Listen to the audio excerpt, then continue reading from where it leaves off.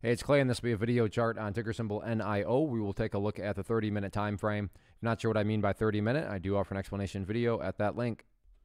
Well, overall, a pretty wild day. However, I will say that from the presentation standpoint, a little bit of a tricky chart to talk about because there is a lot of perspective that goes into it. What do I mean by that? Well, if you were some sort of day trader, flipper, scalper, whatever you want to call yourself, and you bought right there and your plan was to buy and sell within seven minutes, well, then from that perspective, the chart looks really, really bad. Now, if you care about the bigger picture point of view, then yeah, I get it. From the highs, there has been a larger pullback. But from the grand scheme of it all, the price does still have the opportunity to chip away and build a higher base. And that's how long term uptrends are constructed. Just higher bases being put into play over extended periods of time. And that's going to be the viewpoint that I talk about things from. So if I sound crazy calling something bullish, my guess would be you probably had more of a day trader type mentality going into all this. And I'm not saying that this next part is going to happen, but just for explanation's sake, let's say that the price came back down here to 46.50. So price comes down to 46.50, behaves in that manner, and then starts to work its way back upwards. Now, emphasis here on big picture.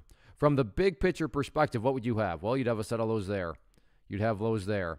You'd have lows here. You'd have lows down there. And if you envision each one of those as stair steps, what do you have? Well, from the big picture, you would still very clearly have stair steps making progress in the upwards direction. And that's the name of the game. That's what a truly strong move is going to do over time. It's going to make progress. And again, in this situation, quote unquote, progress being defined as 46.50. Again, I get it. If you're a day trader and you bought right there, you don't care about these stair steps. But that's why I try to offer up a warning that I would be commenting from the bigger picture point of view. So, yeah, today the price pulled back, but stop and think about that word today, as in one day. Looking at multiple days as we're doing here, you can see the price does still have plenty of opportunity to chip away and build a higher base. So, let's see if the price can get that job done or not moving forward.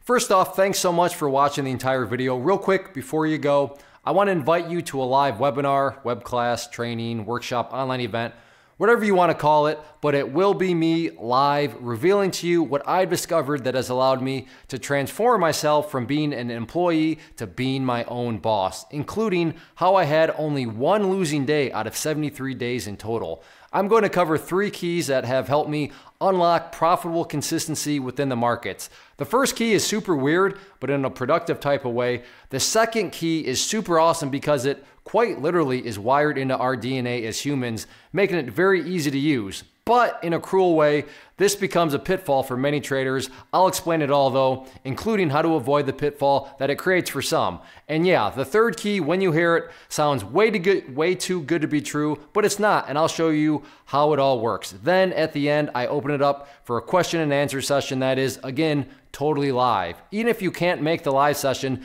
please still sign up as it will be recorded, and you can go back and watch the replay that I will send you. Click the image on the screen or click the link down in the description box so you can get the date and time and claim your spot, which I should note is limited due to the fact that this truly is a live event. If you have any questions, let me know. If not, I'll be seeing you soon.